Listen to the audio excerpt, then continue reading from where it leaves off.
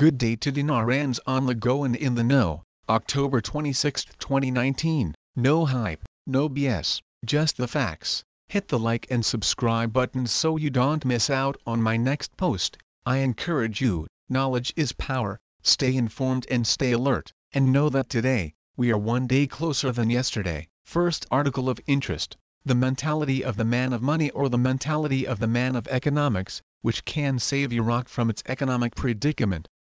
23 October, 2019 by Haider Mortada. Economic doctrine or theory is the basis on which a country's economic system is built, to the well-being of society. When society lacks this doctrine or theoretical and is unable to determine its economic compass, the country turns, as economists describe it, into an economically insane country, which shows signs of madness is low income level, and high poverty rates among its population even though it is one of the richest countries of wealth and wealth.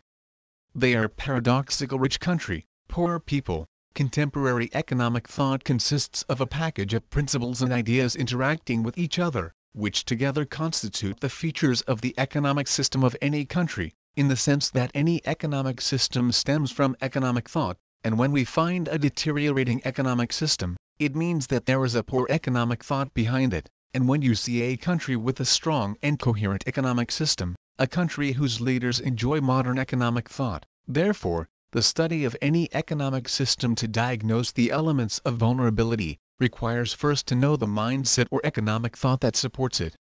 This principle explains the fundamental difference between the concepts of money and economy, and how they are distributed to community members. If we want to monitor the file of the Iraqi economy, we will find managed and deliberated, both by politicians and by the people with the mentality of financial men, not the mentality of economists.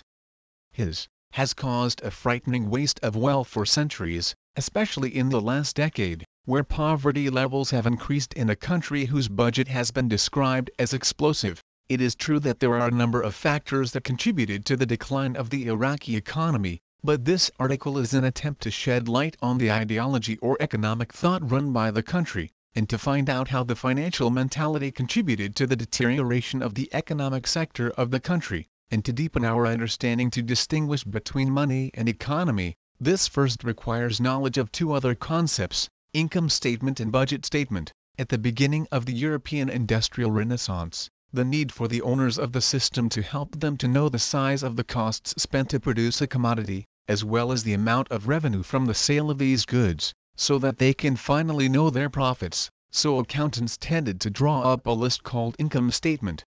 His list shows both the company's expenses and revenues, the result of which is profits, that is, profit equal revenues, costs, but over time investors and owners of companies and experts and financial experts and stocks, that the most profitable companies are not necessarily the best, and that many less companies' profitability is the most attractive for investors in the stock market, and this is what led them to the experts of money and accounting to search for the reasons and the reasons for this strange paradox.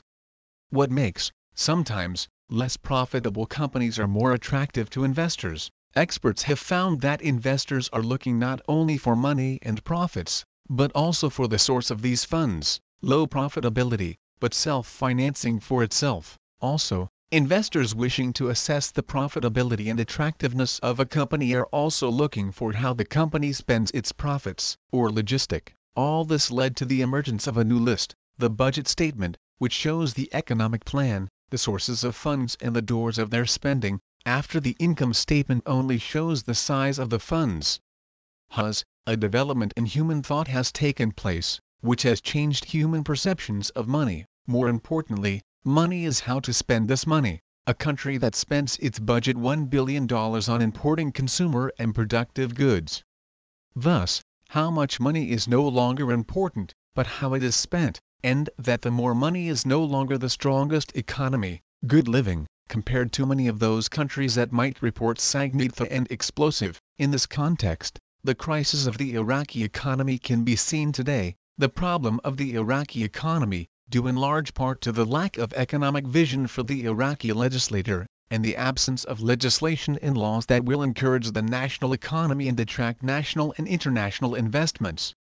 the Iraqi decision maker lacks a real will capable of directing Iraqi money for investment rather than for import. Academically, the Iraqi economic arena lacks in-depth contemporary studies and is capable of developing a diagnosis of the defect. This led to this disconnect between the political decision maker and the academic and intellectual decision maker.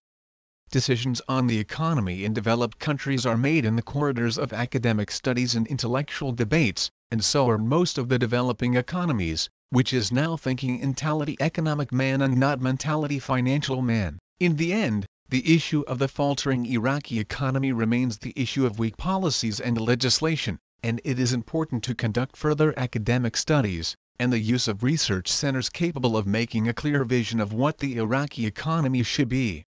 His second problem at the academic level is the break between the political on the one hand and the academic and intellectual on the other. The Iraqi politician dominated by the tendency of cognitive pride, intellectual superiority, and this led to this break between the political decision-making and the academic and intellectual decision-maker decisions related to the economy in developed countries are made in the corridors of academic studies and intellectual debates, and so are most of the developing economies financial man. In the end, the issue of the faltering Iraqi economy remains the issue of weak policies and legislation, and it is important to conduct further academic studies, and the use of research centers capable of making a clear vision of what the Iraqi economy should be. Next article of interest. The federal court supports the demands of the demonstrators and stresses that they should not be affected. October 26, 2019 1242, the federal Supreme Court, on Saturday, its support for the demands of the demonstrators, and stressed that the citizens are not affected as they express their constitutional right. The federal Supreme Court affirms its support for the constitutional and legal demands of the demonstrators, and confirms their constitutional right to protest and safeguard public freedoms, including the right to express opinion, court spokesman Ilyas Alsamyuk said in a statement received by the Euphrates News. The court stresses that citizens should not be harmed as they express their demands in accordance with constitutional contexts and not be subjected to public and private property because they are the property of the people, Samok said. Next article of interest, I have posted before, but wanted to bring it back for those of you newbies. This proves they know the United States fiat dollar is in trouble the way it currently exists and needs a facelift. There is a major change coming in my opinion, and I believe we as Iraqi dinar holders, have one of the winning tickets. Fear of Facebook spurs momentum for Fed to build its own digital currency. Federal Reserve Board Chairman Jerome Powell, Win McNamee Getty Images, by Zachary Warmbrod October 15, 2019 5.49 p.m. EDT. Lawmakers and Federal Reserve officials are so concerned about Facebook plans to launch a new digital currency that they e contemplating a novel response having the central bank create a competitor. Momentum is building for an idea that was once considered outlandish a U.S. government-run virtual currency that would replace physical cash, a dramatic move that could discourage major companies like Facebook from creating their own digital coins. Facebook proposed currency, Libra, has forced the Fed to consider the issue because of a fear that private companies could establish their own currencies and take control over the global payment system. Some Fed officials share the concern about a new balkanized currency system outside government control that Facebook has threatened to unleash. Libra bust this way out into the open, said Karen Petrou, a managing partner at Federal Financial Analytics who advises executives on coming policy shifts. But it not just Facebook, the matter is also taking on urgency as other countries consider creating their own digital currencies another potential challenge to the primacy of the US dollar. The head of the Bank of England has floated the idea that central banks could create a network of digital currencies to replace the dollar as the world reserve currency. The discussions are informal at this point. Members of Congress from both sides of the aisle have written to the central bank asking officials to consider how they might approach a digital currency and some Fed officials have begun to acknowledge the government might someday play a role. It is inevitable, Federal Reserve Bank of Philadelphia President Patrick Harker said at a recent conference, according to Reuters, I think it is better for us to start getting our hands around it. Those discussions will land on the Fed doorstep this week as the world top financial policymakers gather in Washington for meetings of the International Monetary Fund and the World Bank. Even if Libra fails because of Facebook political baggage the blowback from lawmakers and regulators has been so fierce that the association tasked with running the cryptocurrency has lost a quarter of its initial members central bankers worry that another major company could enter the space. If the Fed DOES and establish a digital currency, who will? The flurry of recent moves by Facebook and the Fed international counterparts has also caught the attention of Congress. None of us know precisely how the digital world will evolve, said Rep. French Hill R-Ark, who has asked Fed Chair Jerome Powell to report back on what the Fed can do, but it's important they undertake this kind of preparation work and analysis. The growing pressure on the Fed is evidence of how rapid developments in technology are beginning to shake the foundations of the financial system, raising questions about whether policymakers are prepared. Some lawmakers want the Fed to take a more active role in fintech developments. A consumer payment system is a natural monopoly, the same way Microsoft Word is a natural monopoly, said Rep. Bill Foster DO, who joined with Hill to ask the Fed to outline its options for creating a digital currency. No one wants to use some incompatible word processor. The question arises shouldn't it be the U.S. taxpayer and the U.S. government that does it rather than any private firm? The details of a possible Fed-developed digital currency are still vague, but advocates and experts say such an instrument could give consumers a new way to make payments without having to rely on banks and without incurring fees when they transfer money. The digital currency would likely take some inspiration from the technology that underpins other cryptocurrencies such as Bitcoin, but over the last couple of years, the Fed leaders have been anything but enthusiastic. Members of its Washington-based Board of Governors have dismissed the idea that the central bank should create its own digital currency, but that was before Facebook revealed its plans to become a huge player in the financial system. The social media giant June announcement that it planned to spearhead a new digital currency jolted the Fed and other regulators around the world. An array of powerful figures Powell, President Donald Trump and House Financial Services Chairwoman Maxine Waters D. Califf, quickly voiced concern about Facebook vision for disrupting payments networks. Officials took the threat so seriously because of Facebook's massive built-in user base. Trump immediately highlighted and dismissed concerns about it posing an existential threat to the dollar. It is by far the most dominant currency anywhere in the world, he said of the greenback, and it will always stay that way.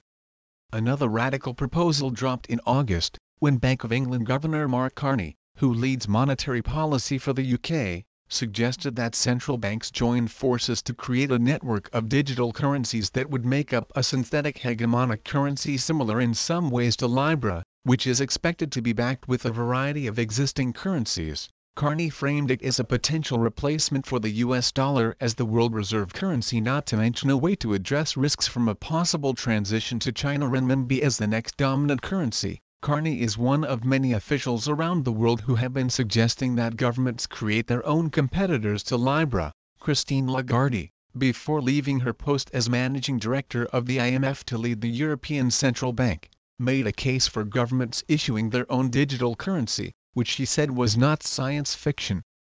The Bank for International Settlements, which represents the world's central banks, said early this year that most were conducting research into central bank digital currencies and many were progressing from conceptual work into experimentation and proofs of concept. The IMF World Bank meetings this week are likely to highlight the debate. It was a topic of discussion when Facebook lead executive on Libra, David Marcus, appeared with Carney on a panel Wednesday that focused on big tech and the future of finance. Marcus said access to a government-run system that addressed Facebook's goals would have made his life simpler. The real reason we're trying to build this is it doesn't exist, he said. Fed Governor Lael Brainard, who dismissed central bank digital currencies earlier this year, dedicated a portion of a speech to the prospect that central banks will develop their own currencies. Brainard said there were compelling advantages to the current system in the U.S., and she urged caution warning of the challenges arising from the Fed managing hundreds of millions of potential accounts,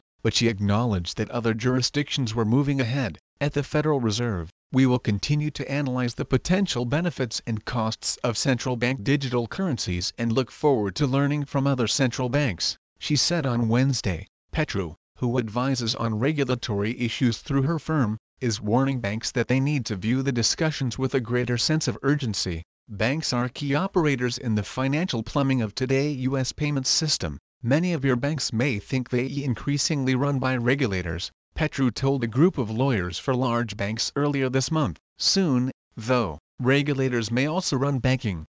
Sheila Bair, who led the FDIC during the 2008 financial crisis, is among those urging the Fed to act. She argued that a new Fed-developed digital currency could be used by the public to transfer money without the need for banks and fees, if based on distributed technology allowing for a decentralized database of transactions across a network. Bair said it could be more secure, efficient and less costly. We got inefficient payments, Bair said in an interview. It expensive, the retailers hate it, bank customers hate it, with a cryptocurrency sitting on a distributed ledger, you could just go directly from point A to point B. You don't need an intermediary, that how it's supposed to work in theory, that basically what Facebook is trying to launch. In recent Senate testimony, she said the stakes are high for the Fed. If the Fed does not stay ahead of this rapidly maturing technology, I fear private sector efforts to eclipse fiat monetary systems will get ahead of them, with potential disruptions to our banking system and in a worst-case scenario, loss of control of our own currency, she said. Linda Jeng, who left the Federal Reserve earlier this year and is now a visiting scholar at Georgetown Law, said the Fed has been carefully studying distributed ledger technology and how it could improve the payment system. They are not only looking at it from an intellectual, research perspective but also at its potential future applications in central banking and payments, she said. They really recognize that even if Libra blows up, another money construct will follow. Petrou said, any of the tech platform companies has terrific market power, they cannot stop it, they have to beat it. More articles of interest to come, hit that subscribe button and the alert bell so you don't miss my next post. I encourage you, knowledge is power, stay informed and stay alert. Over and out for now, the Dinarian.